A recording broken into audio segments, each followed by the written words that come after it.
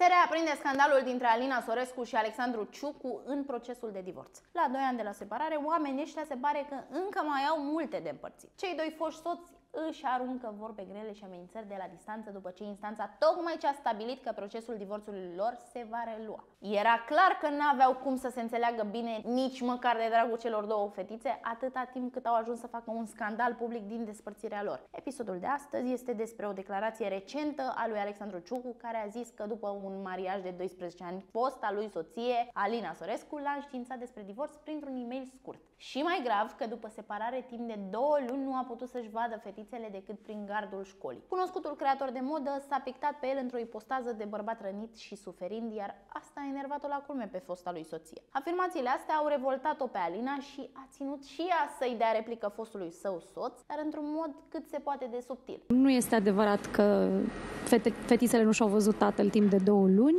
Păi nu, că, uite Adică asta aș avea voiam. multe de zis, dar Da, da, nu, bă, bă. nu este adevărat. Toate aceste declarații mi se pare iarăși că iarăși o coincidență foarte mare că vin înainte de reluarea procesului pe care îl avem pe rol și care Aha. uh, se va relua peste o lună.